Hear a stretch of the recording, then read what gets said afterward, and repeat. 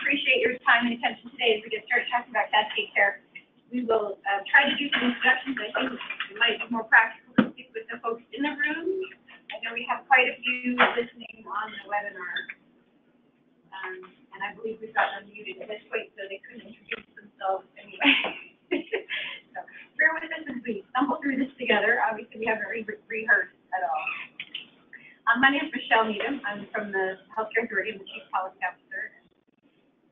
Uh, Team of people that we've been working with, with the Health Benefit Exchange as well, to develop the Cascade Care product. Um, So we'll go ahead and start some introductions. I'll turn to Ben first. Hi, I'm Ben Dietrich. I'm an actuary with Milliman. I've worked with Western Authority since two thousand six, mostly on the PEB program and most recently on the SEB School Employee Program. And now I'm helping out on this Washington Cascade Care project. Hi, I'm Rachel Quinn, uh, Special Assistant, um, in the Policy Division with Michelle Needham. Brian Clinton Moore, an actuary with Regence. I'm Kevin Curley, an actuary with Regence. Uh, Zach Alton, also with Regence, I support exchanges. Hi, I'm Melinda Hughes from Kaiser Permanente. I lead the individual market for the region. Simon Vismantis, I'm on the government relations team of Kaiser Permanente. Andrea Davis, coordinated care. Amy Peach with the Washington State Office of Insurance Commissioner. Uh, Jeff Overly, actuary with the Washington OIC as well. Hi, Christine Javert with the Exchange. Hi, Sam Paskowski with the Exchange. Leah Hole Marshall, General Counsel and Chief Strategist for the Exchange. Lane Kearney with PacificSource. Claudia St. Clair, Molina Healthcare. Uh, Brian Blasco with Molina Healthcare. Molly Blake. Molly Morris with the Exchange. Right, all. And I'm sorry, we can't catch your names on the phone, but I, I do have your registration, so we know who's participating. Um, I didn't make myself a so unfortunately, you're just gonna have to live with me as well. Uh, our goal today, obviously, is just to do a, a brief introduction of, um, topics that we hope you've been following with the exchange for discussions with stakeholder groups.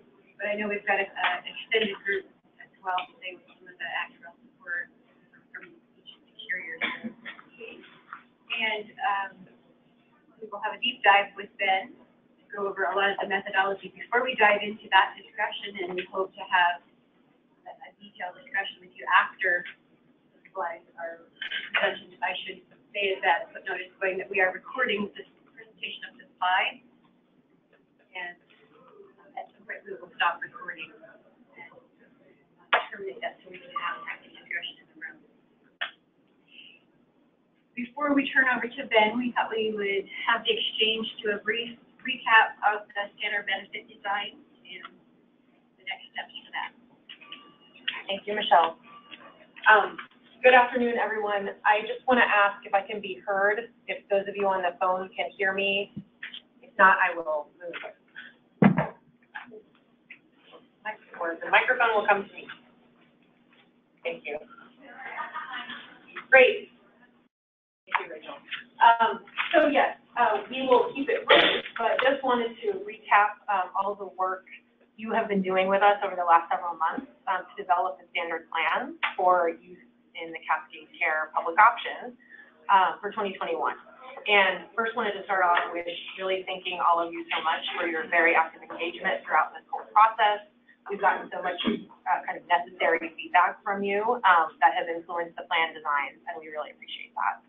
Um, we, the exchange board met last week and approved the plan designs. You all have, uh, a version of the plan designs that have been approved. Um, those of you in the room, I think you have this in your packet. Um, those of you on the phone have received it. We just wanted to kind of highlight again, um, we have had many versions of the plan where we ended up with the three final standard plans, um, one gold, one silver, and one bronze. Um, and then you have kind of a, a summary of the plan designs, which just shows you the deductible kind of at the top, the maximum out of pocket, and then the cost sharing for the services that we have standardized for twenty twenty-one. Um, as mentioned, the exchange board approved these plans last week, and at this point, the plans will be turned over to HCA to be included in their procurement for the public option for twenty twenty-one.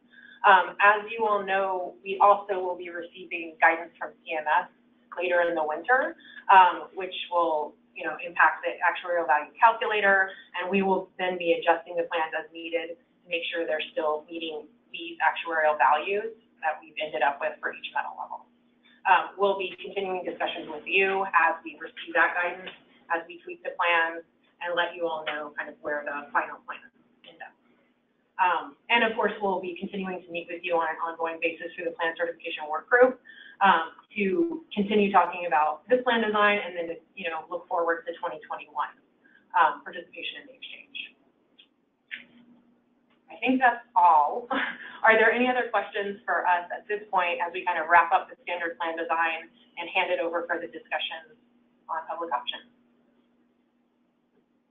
All right, again, thank you all for your engagement and feedback throughout the process.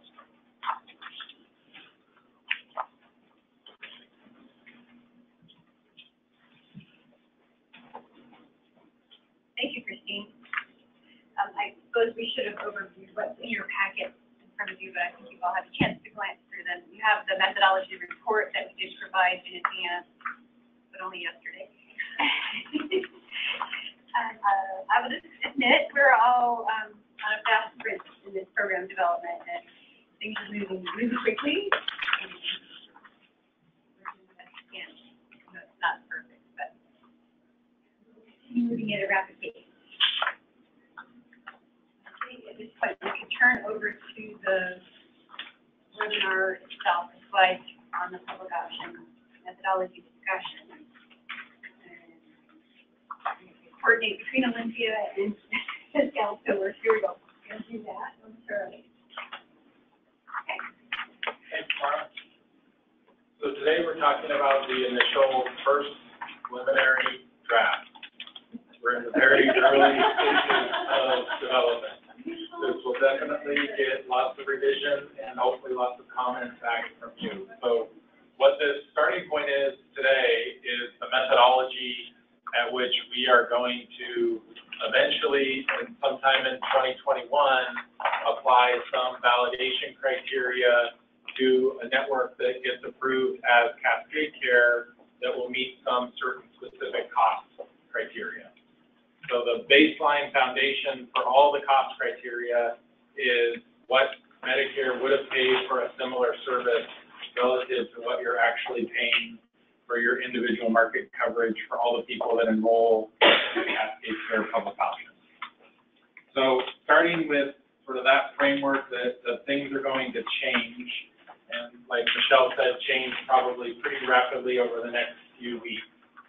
What we wanted to start with is just the enabling legislation background. So there's three cost criteria that we're focused on at Milliman in terms of helping healthcare authorities set some parameters around, and that's the ceiling of provider reimbursement. So there's a statewide average level of reimbursement within, specified within the enabling legislation that the Cascade Network, including pharmacy, may not exceed hundred and sixty percent of the total amount that Medicare would have reimbursed providers and facilities for the same or similar services. So this, the overall goal that we're trying to reach with this public option plan is to have an opportunity for more affordable provider contracts on a statewide level. So that doesn't necessarily mean that every individual contract is gonna be exactly pegged at hundred and sixty. We will be calculating an average across the experience for the participants that enroll in this plan. There's two other cross criteria that the legislature guided us on. The first is a floor in rural hospitals. Rural hospitals, in the context of the legislation, combine sole community hospitals as well as critical access hospitals. Critical access hospitals by Medicare are reimbursed already on their allowable cost basis, so that's fairly straightforward. With the sole community hospitals, they're reimbursed slightly different than a cost basis for Medicare, and we're still kind of researching how exactly to tackle those. And then the third criteria is that there's a floor on primary care services, that those primary care services cannot be below hundred and thirty-five percent of Medicare. So we already have initially some in- indications that if you're gonna go over hundred and sixty percent of Medicare when contracting with facilities, then your primary care can go under hundred and sixty percent, but it can't go any lower than hundred and thirty-five percent. And Healthcare Authority has on their website enabling legislation that shows what the definition of primary care services are. So that should, will, will, so that should be pretty straightforward. We've got the link to the bill five five two six there on the side, if anyone cares to read the full detail.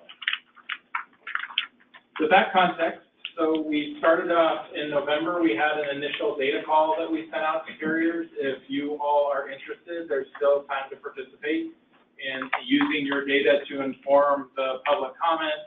What we're able to do within the scope of this work is to take an individual claim data file from you, process it within the processing methodology that we would use to assign Medicare prices similar for Cascade Care, and give a return file to you so that you know how the Medicare price was determined on real, live, actual claims. Yeah, sure, go ahead. I just want to make a comment. In the legislation, there is language that um, includes the data request, uh, not the data, the data exercise from from our public disclosure process. So those, I don't know, I think most are familiar with our public disclosure process in the state, but we have um, kind of immunity under this bill to, that this will not be subject to public disclosure. So I wanted to point that out because we've heard um, some questions from some um, carriers. So if you're participating in the data request, you'll get back from us what the Medicare allowed amount is that is assigned to every claim. And that then serves as the denominator in the calculation for percentage of Medicare. The numerator is going to be whatever contracted amount you've negotiated on an allowed basis with every provider. So that's gonna be a given off of your historical data. It's gonna be an unknown when we get to the structure of the procurement. And at some point, it's gonna then become a known value when we're at the validation phase to go back and compare how your actual experience emerged relative to these targets. So just to re, yeah, Do you want to do Q and A? at the end? yeah, no, now it's fine. Just- The return file, is that like at a claim line level? Yes. Okay. So at the claim line level, we then have to total everything up to assess the percentage of Medicare. And just to remind everyone that when we do that, a dollar weighted average, so it's somewhat complicated when you're talking about percentage of Medicare analysis because we're messing with both the numerator and you all are messing with, or you all are controlling the numerator, we're all controlling the denominator. So when we're going through and we're assigning Medicare amounts to all the various claim details, how we're coming up with that Medicare logic is a critical component to then measuring the effectiveness of your contract levels relative to that. So when we try to assign Medicare to every claim line, there's quite a few issues that we can quickly run through on the bullets for the slide that we just have to think through. And we, we realized that we didn't ask for national provider on our initial data call back in November, so at some point, we're gonna have to update and revise that. Um, you need national provider identifier to assess the area. An area is an important component of some of the Medicare fee schedules. And then you also have to be able to identify the Medicare provider ID. And those are two additional fields that we need to make sure we're probably gonna eventually have to get right. I think for the initial data call, we're probably able to make do with what we have. The last thing is that in order to assign Medicare for the those hospitals that are paid cost, you have to do a calculation of a cost to charge ratio. We'll get in that a little bit more into the future slides, but I'm not sure how much familiarity we have in the room or on the phone in terms of what the cost to charge calculation is, but it takes a long settlement time for that data to be realized. So what we're planning to do for Cascade Care so that you all can move forward in your efforts of contracting with providers is we plan to eventually publish what we will be using as the 2021 cost to charge ratio for every facility. So that will be hopefully a known value before we get into the 2021 period. It's just too much time is required for us to assess the true cost to charge ratio in 2021. That would probably not happen until 2023. So we'll, we'll just bump that up and then we'll make some assumptions about charge trend relative to cost trend. So just getting into quick the next slide, uh, tomorrow is the overview of what fee schedule year we're selecting. So in addition to all the complexities of identifying what provider type is corresponds to what fee schedule, we also have, uh, the federal government changing Medicare prices on an annual basis. And they change inpatient facility cost fee schedules on a federal fiscal year basis, and then they have occasion to do interim updates over the course of a federal fiscal year. And then they set the outpatient facility and the physician fee schedules on a calendar year basis. So this is just to clear up, we will be using for the inpatient facility, the fee schedule that's in effect on October first of the year prior to the effective date. So the first year of evaluation for Cascade Care will be twenty twenty-one. The hospital fee schedule that we'll be using for the inpatient side will be that one that is effective October first, twenty twenty. I have a question on that. So why, if, if the schedule is updated, why don't you use the later one? Uh, it's just all about time, and it's trying to give you guys the opportunity to know what basis you're contracting on is gonna be the same basis that you ultimately get evaluated on. So we only have three months lead time for you, but it's the best we could probably work with. I was just thinking because we're working with data that is from twenty sixteen, so on an apples to apples basis, wouldn't you be using a a fee that was maybe in effect at the beginning, at the middle of So it's the federal fiscal year, so October first, twenty seventeen is gonna run through September thirtieth, twenty eighteen.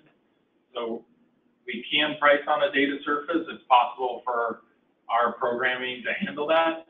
It's just, I think, easier for communication not to have that unknown last three months of the year. So we've got nine months of overlap effective in twenty eighteen with the Medicare reimbursement methodology. And we just figure that's better than trying to price for the, whatever Medicare increase or decrease could happen for the last three months of the year. Oh, sure. So the question was, why would we take something sooner in the calendar year relative to the year that we're evaluating? And we just discussed the nine-month overlap. So next slide. I have a, a little bit more of a general question, but it, it, it kind of relates to that, um. So, big picture, we're doing this measurement on our historical data, to say how far our current reimbursement rate away from one sixty Medicare.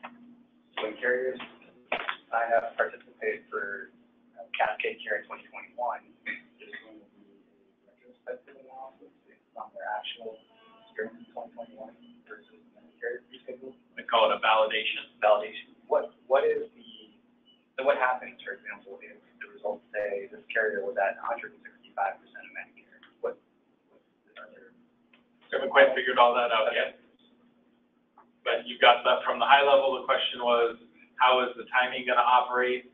And there will be a validation period ultimately of your twenty twenty-one Cascade Care experience.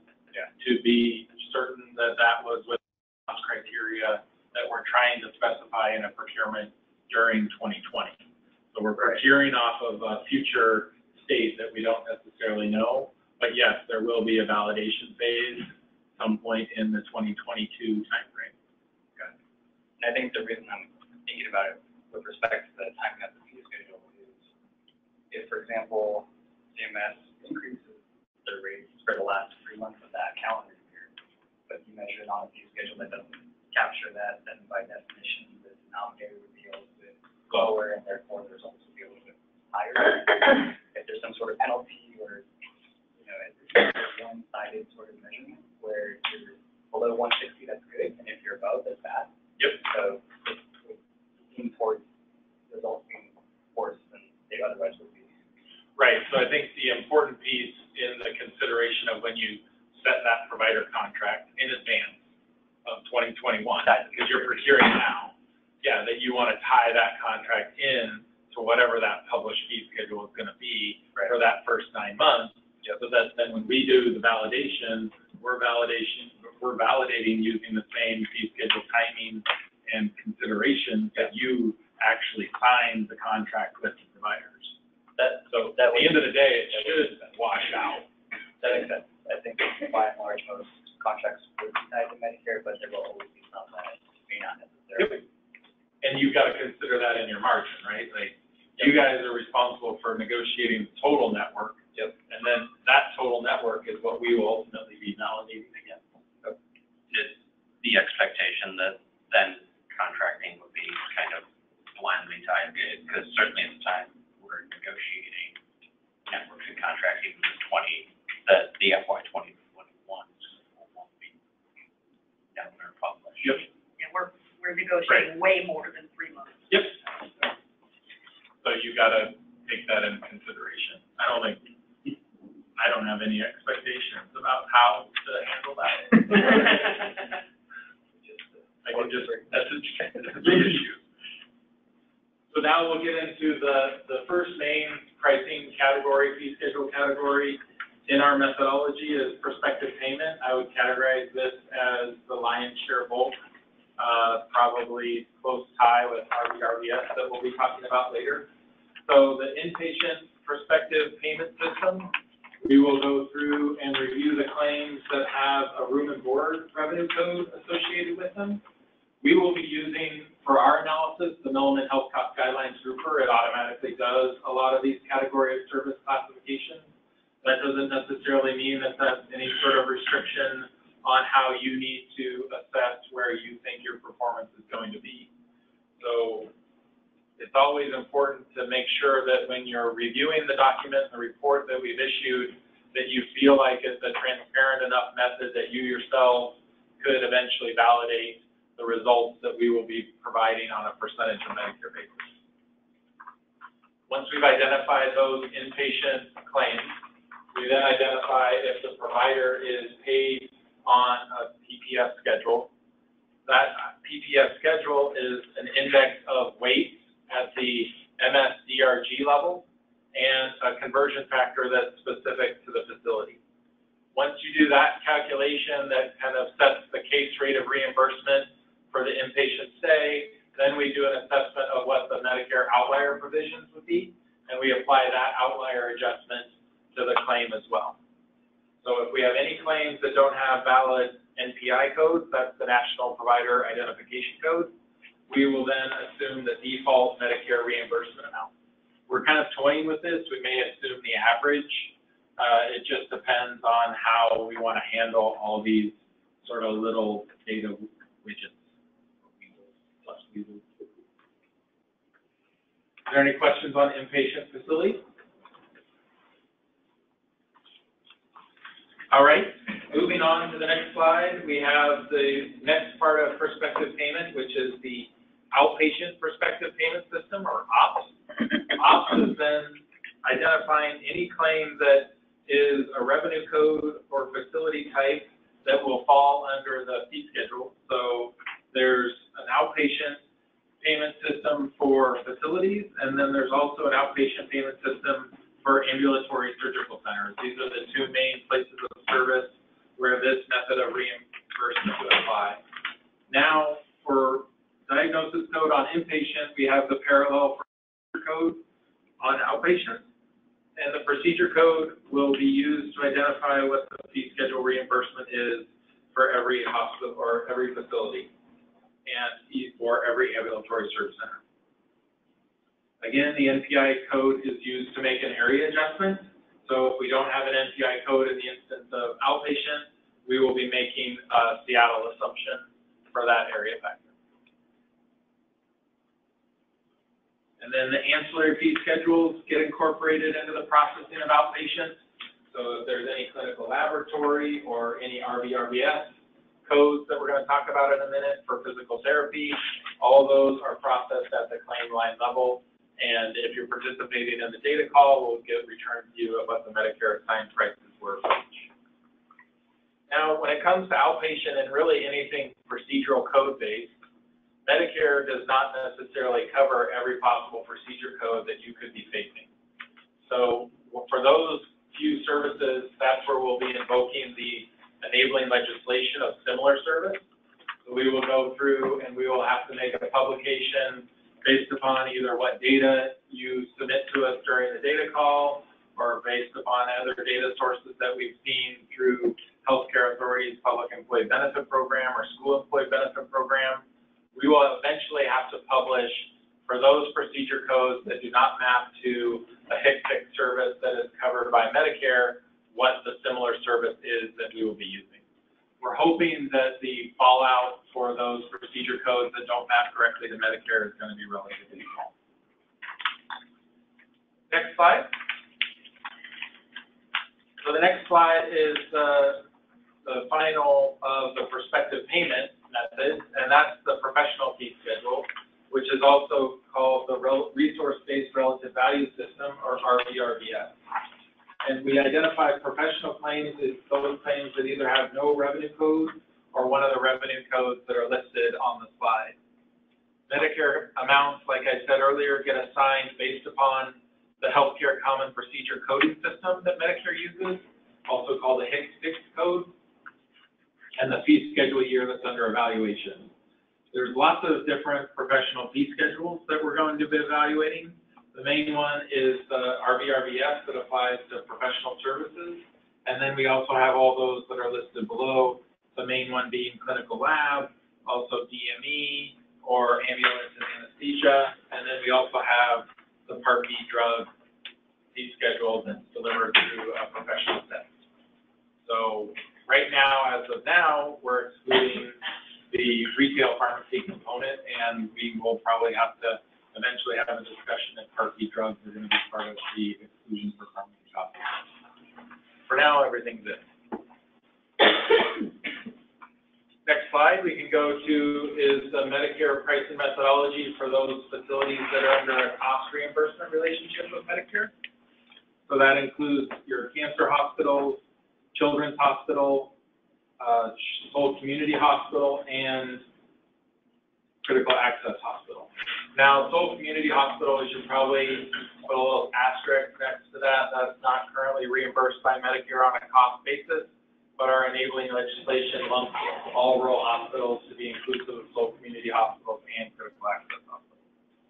So those hospitals are reimbursed at their relative cost. In order to do that, we will need, like I said earlier, to publish what the cost to charge ratio is for these various facilities that we're planning to reimburse.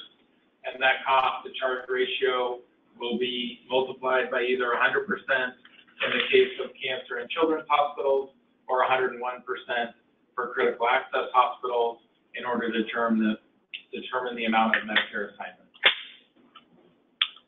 So just to review the long timeline of delay for the CCRs, the CCR published in twenty eighteen really relates to the settlement, cost settlement activities of twenty sixteen. And so for that reason, because there is so much time in reporting of the cost reports for Medicare, we're likely gonna be two years in arrears for that. But we will use whatever the most currently available published schedule is before the effective date. Now, we weren't able to get all of the providers priced out for Medicare in the timeframe that we had to develop this methodology. So there are still a few that we're working on. So the report that got distributed doesn't have any of the underlying appendices that would have the analysis to represent what the cost to charge ratio is or what the similar service substitution is. So that shouldn't hinder you at all in reporting back and giving your comments and feedback on the methodology.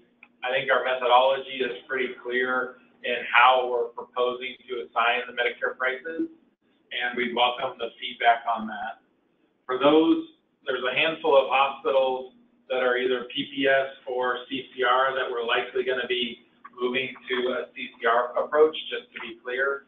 And that includes the psychiatric hospitals, rehabilitation centers, long-term care facilities, hospital facilities, and skilled nursing facilities.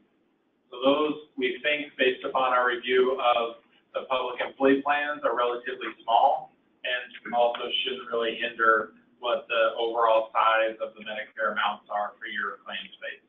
If we see something as we're going through and processing that initial data call that makes us think to the contrary, we can definitely revisit if there's a more, uh, readily available method of pricing those sorts of facilities out other than CCR approach.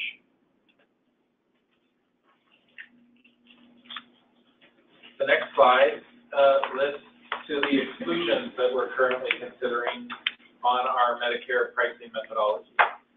So right now, in our Medicare method, we are not including any of the following additional payments that Medicare might make in order to reflect specific policy goals.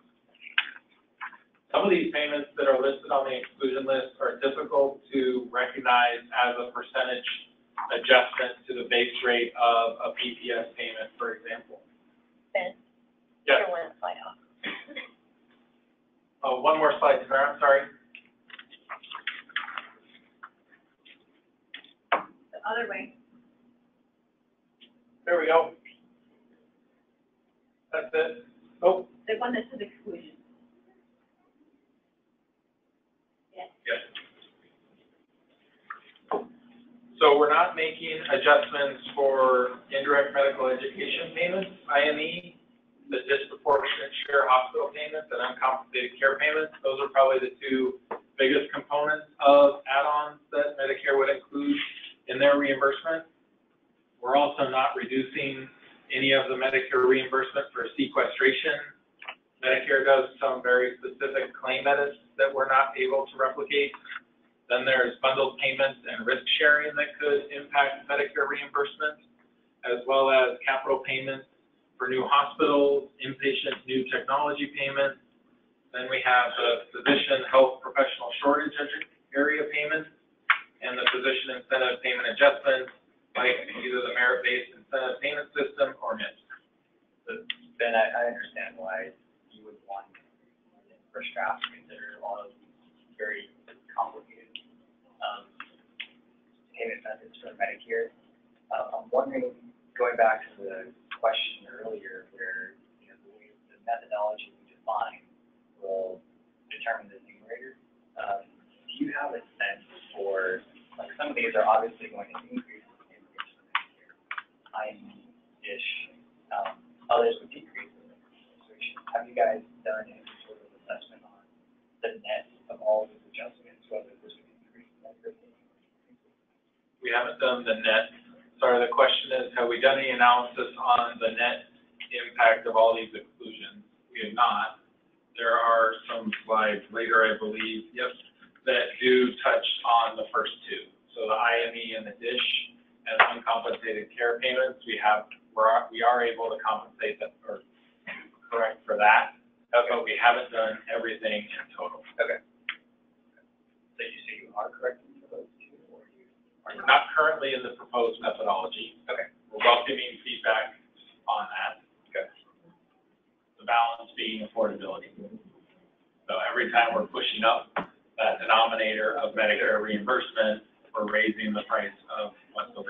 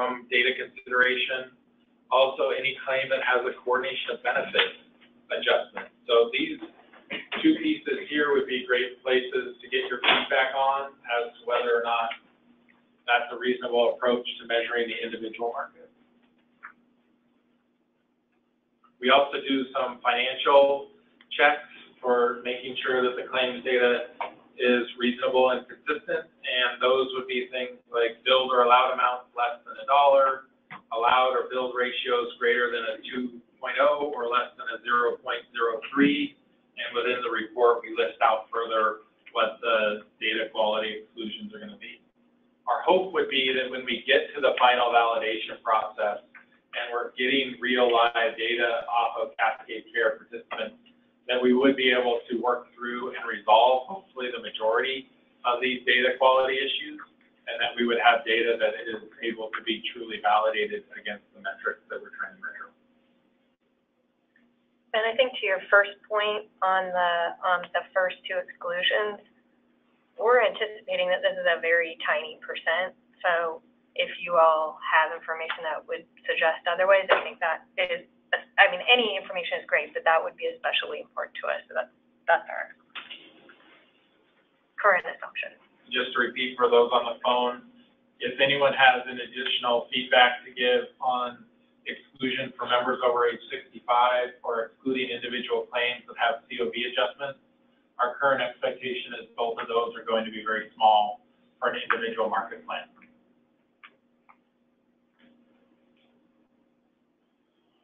So now that we've kind of rolled through a high-level overview of our Medicare pricing, there are two categories of services that have potential alternatives to Medicare. And this is probably to some of the points Brian's been making. When you're contracting today with facilities, you may make adjustments to some of the services that Medicare has a published fee schedule for, but aren't really relatively appropriate for an underage, non-aged sixty, underage sixty-five population. So the main one of those is maternity and newborn. So for maternity and newborn services, we would propose an alternative approach for consideration of using the Department of Veterans Affairs TRICARE weights. These weights are established and publicly available relative to the MSDRG weight. So you don't have to change any conversion factors, you don't have to change any outlier payment methodology. All you're simply doing is informing the relative weight off of an under age sixty-five population as opposed to the Medicare published MSDRG weight. The other one is the services that we described earlier for small community hospitals. They're actually paid on a prospective payment system, so they have an IPS factor that reflects that they are a full community hospital.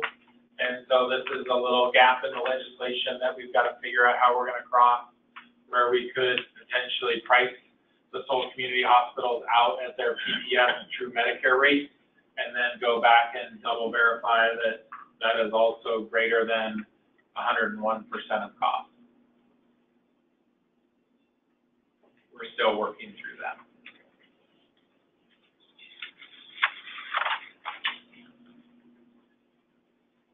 All right, moving on to slide fourteen.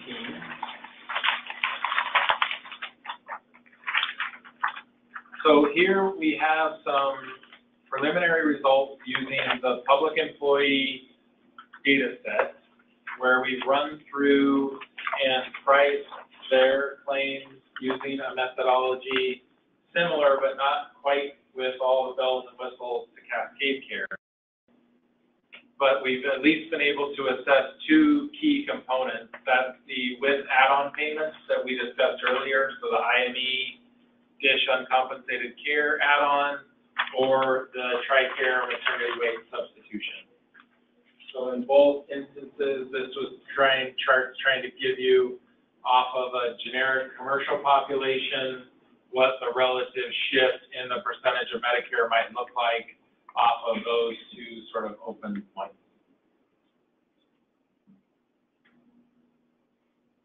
So full Medicare, no add-on payments of hundred and seventy point six percent would be most akin to the base case of what we are proposing in the report right now. So what you're propo- proposing in the report right now is the situation without add-on payments? Like- without add-on payment and without, uh, TRICARE weights. I'm looking for your feedback. Yeah, I mean, uh, yeah, obviously, on inpatient, it's a forty percent differential, so that's, that's very material. Five percent overall, but that's, that's significant. This is helpful, this answers the question. Good.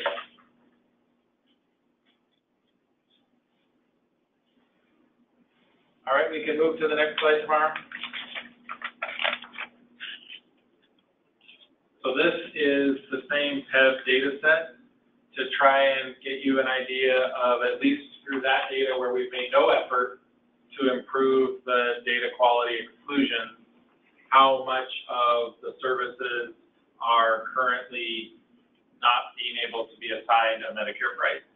Now, there's two critical components of Cascade Care that we have not yet executed on the PEB pricing, and that is to substitute similar services. So there's two footnotes at the very bottom of the slide. The similar services are eighty-one percent of the not assigned of allowed costs. So if you go down the allowed column, we have fifty-nine dollars and seventy-two cents of assigned, of not assigned PMPM services. And these are on a true cost basis, and that's sixteen percent of the grand total.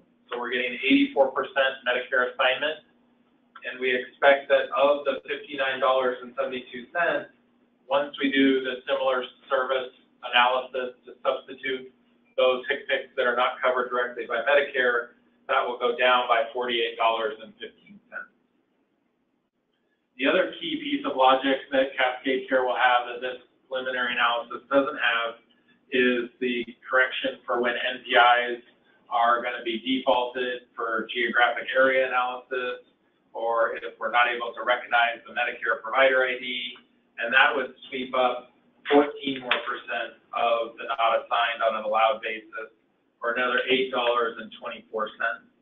So that really leaves us with, uh, about fifty-six thirty-nine out of fifty-nine seventy-two in allowed costs that is just remaining for data quality issues. So we're hoping to see similar results, or at least that's our expectation, is to be able to get similar results out of whoever's ultimately participating in Cascade Care, so that we think that this methodology should be enough that we are validating the most, highest percentage, if not all of the claims that you would have actually experienced under the program.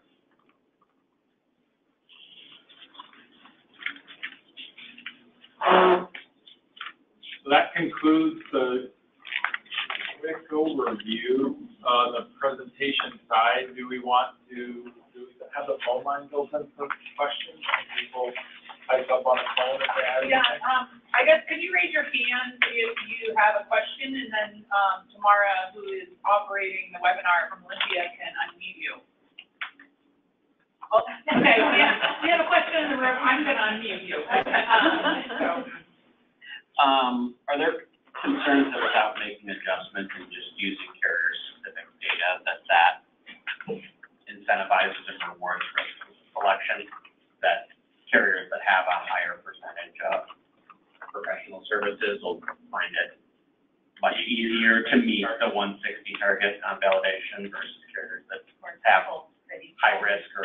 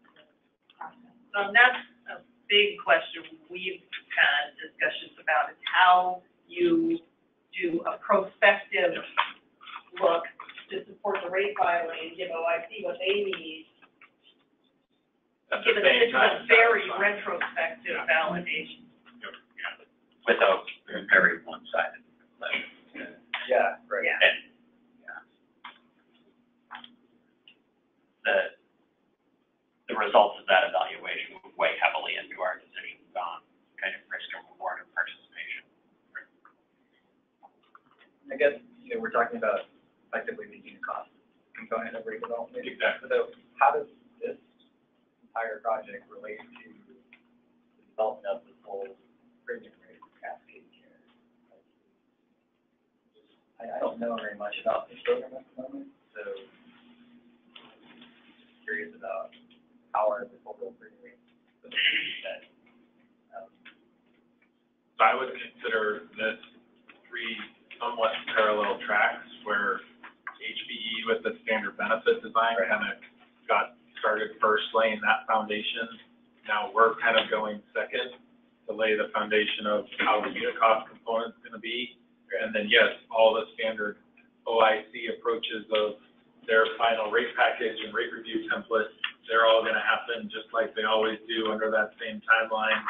And then we've got to figure out from the healthcare authority perspective, are there any pieces of that process that we then ac- actually have to fold back concurrently into the procurement of the network on the unit cost side Yeah. to make sure that we've considered everything on a relative basis. I guess it, I think it's, there's a lot of unknowns to this. You, and you think about the ultimate goal is to provide a product that's affordable. Yep. That's everything, that's why there's these constraints on the cost. Um, and there's a keen focus on making sure the reimbursement rates, um, don't go above certain levels. Um, but at the same time, total cost for a program can depend on how well utilization is managed. So if one, if a, if result is hundred and seventy percent of Medicare, but utilization comes in lower than what it would have been under a very open, managed program, total cost is lower. So I'm just trying to figure out how the, how the unit cost side will fit into the true measurement cost the program. I think we're all trying to figure that out as we go along. Okay. I don't think anyone's connected all the pieces Okay. to say that, oh, if we pull this lever of standard benefit design, Yeah. that's gonna drive X. If we pull this lever of standardizing unit costs or putting in market constraints on unit costs, that's gonna drive Y. Right. And, oh, if we get an effective rate review process, that's gonna give us Z on top and everyone's gonna be happy and the legislature will leave us alone. right, because then you've got selection issues with kind of utilization you have, carrier. Okay. And are you envisioning that this methodology will be published in a way that carriers can replicate it internally, similar to what CMS does with risk adjustment methodology? Yep. That's what our hope is, that this report will eventually be. So the draft report right now, it doesn't have any of the appendices that you would need to truly replicate it, but it should have enough of a methodology description that you should be ready to, to try and replicate it. So that leads to another question. You mentioned health cost guidelines. Yep. What if a carrier doesn't have access to the health cost guidelines tools, for whatever reason they've chosen Yeah. not to purchase them? Right. Is it something they can still do? Should be. I mean, it's revenue code based, it's diagnosis code based. I mean, there's Medicare repricers out there that people may want to tap into. That, that's all they do, is you needed a claim detail and it spits out what the Medicare prices is. So you'd have to be responsible for configuring that Medicare repricer correctly so that it matches the description that we've gone through here. But we're going to use our technologies to do the repricing just because that's easiest for us to do. We're not going to build anything from scratch that's then going to be publicly released. So we wouldn't release like a SAS code package that would do the repricing for you. But the idea is that the report should be transparent enough that you can replicate it on your own if you choose. I think the one part of the tool that sticks out to me is the last step where you, um, or you found ways to reprice claims that don't hit a Medicare fee schedule, some of which rely on the proprietary Milliman relative value unit methodology. Um, is that simply like a map? Yeah. Okay, So we'll use the Milliman Global RVUs to assess the relative intensity, yeah, and we'll publish your service A substituted for service B, and you can go execute that map. okay, Or you can present to us research that you've done on your own that says, that service B is crazy. That is not the right substitute for service A. And then we can adjust within the appendix to say, all right, we're all agreeing now that service B is gonna map over to service D. And then that becomes the published amount. I mean, eventually, you all are having to execute some provider contract that represents whatever you're choosing to represent of this methodology within the payment to those providers.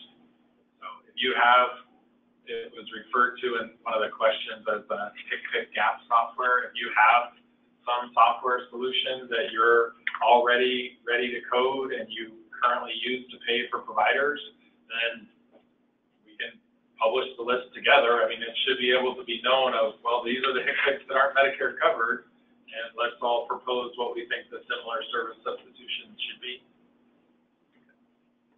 But yeah, the idea should be that there's, there should be no proprietary Milliman technology that's required for you to do this. It probably would make it easier, but it's not required. Can I just, uh, let me just point out, we will, um, disseminate the slides after the meeting. I think this is a question on the phone, um, and we'll, we'll get those sent out. I, I see that provider settlements and risk sharing are excluded from the Medicare denominator. Is the thought that those would also be excluded from the numerator? I don't think we've crossed that idea yet. So I'm sorry if I missed this, but, um, I understand there's gonna be a retrospective look, like, when. you- Validation, we're calling it. Yeah, validation, so what is the purpose, what are, what are those, how HCA is gonna use those results? So they found out later that, you know, instead of one sixty, I'm on one sixty-five, what does that mean? I, I don't know if we've decided any of that yet. Yeah, I'm trying to think how to, to, to factor this into my, you know, how to take it back to my company for discussion, I'm not sure what that means. Yep. For the whole process, and why are we doing it? Maybe I'm missing something. no, I I had the question earlier. So I will say, we have not got all the answers obviously at this point in the procurement development.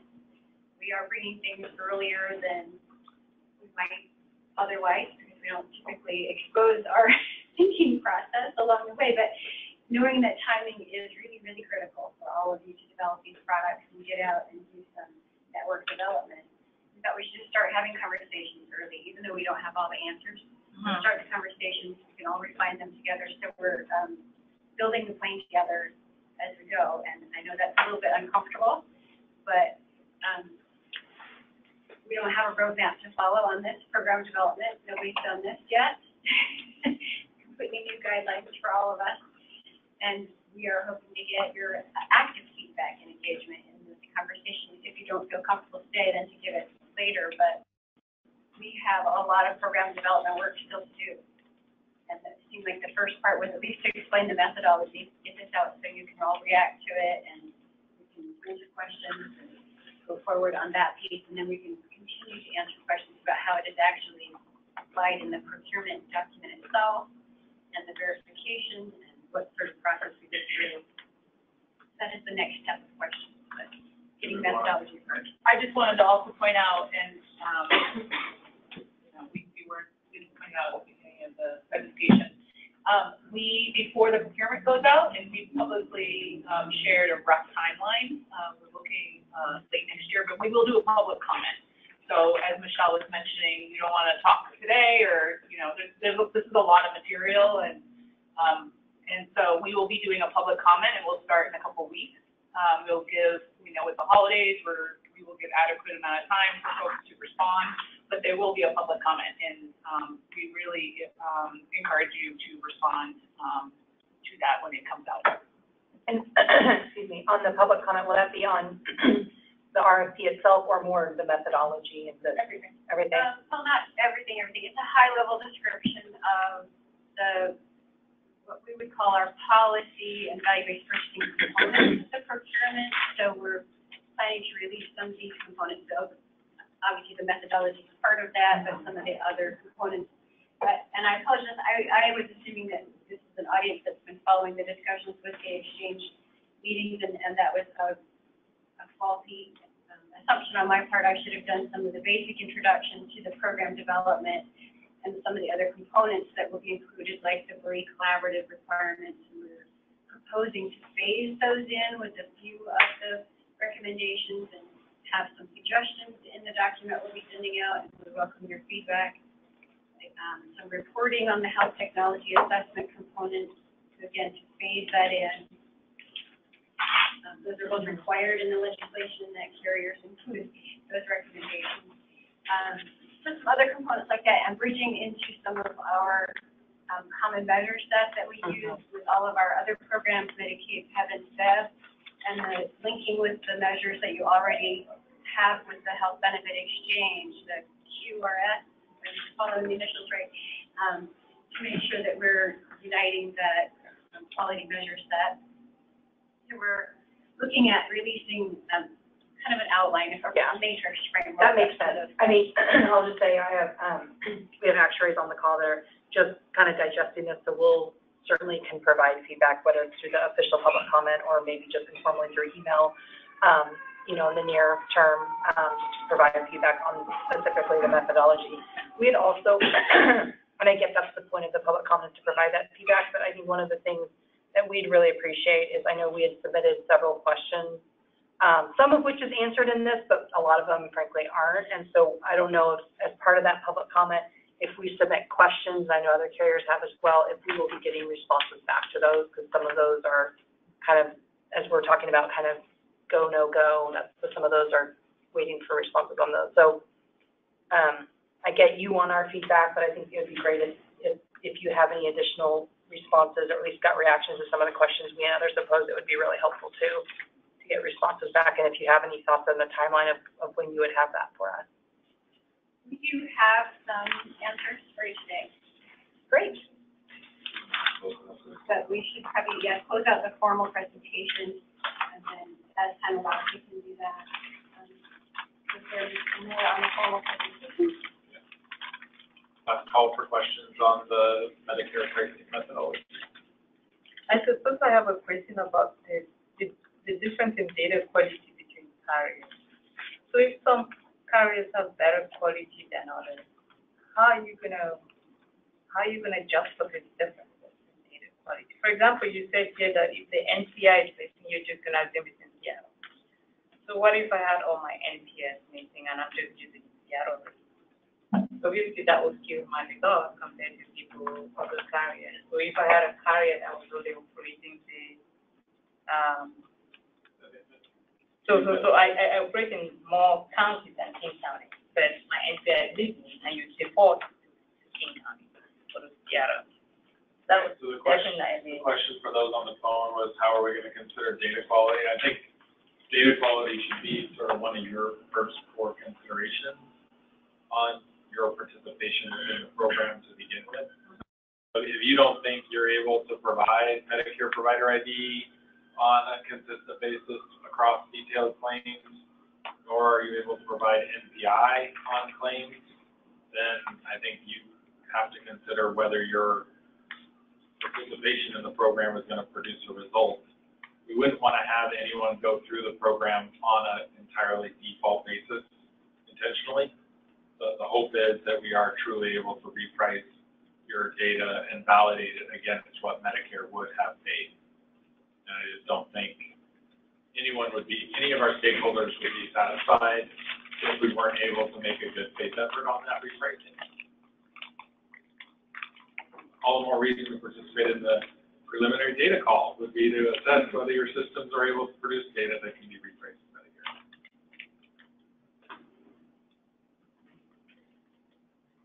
give any special that says, here's the similar service.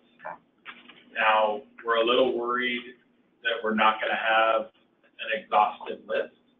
So there may need to be a little bit of dynamic follow-up as we're going through the calendar year, just to make sure we're doing a good faith effort on what that reasonably similar service is. If there's a new HCPCS code that emerges or a new procedure code that emerges, especially in the behavioral health area or something like that, then we would need to decide sort of what relative intensity we think Medicare would have paid that for.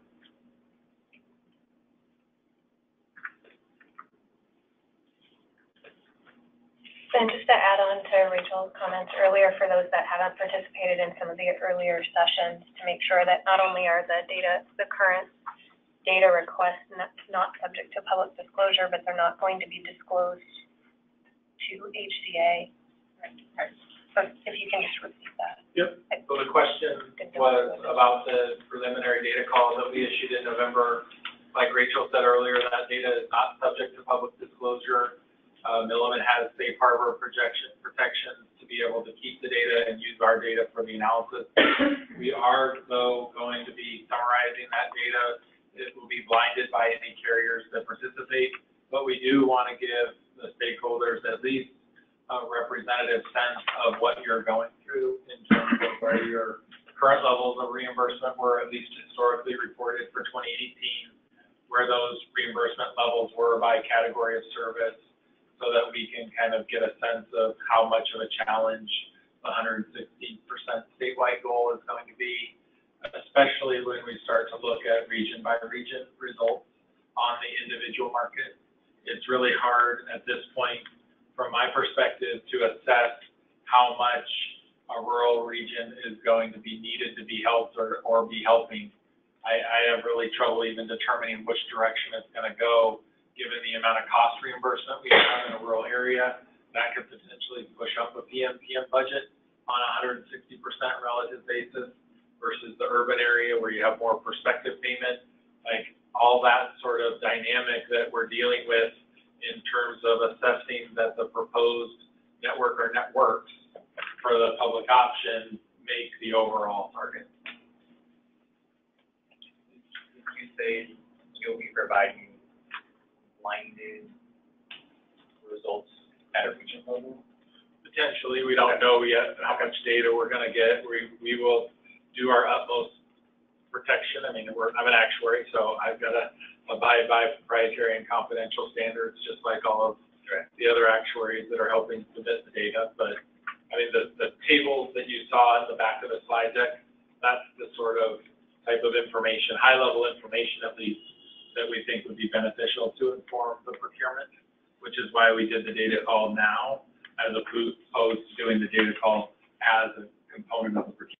To say that you're precluded from not getting a data call during the procurement as well, that still may be coming, but we wanted to try and at least get something out there initially so that we could start to size some things. And would you use the OIC? Yeah.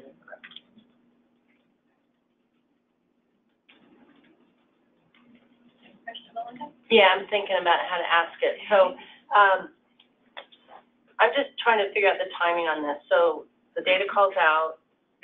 I remember in another meeting, you said it would be a two to three week process to get to a carrier-specific answer that we could see, and then from which we could also give feedback to this methodology. So, um, and then I heard the RFP or the outline of it will come out, or for public comment in two weeks or so? Okay, so I'm just like, in time and space, are we lining up here is my, trying to figure that out. I need a calendar and a Gantt chart. Throw on the whiteboard. Uh, so we are targeting releasing, if I can use as many words as, as preliminary initial draft, um, outline of some of the procurement policy questions, um, this month. In the next week or two, hoping, will be preliminary draft, let me say that again.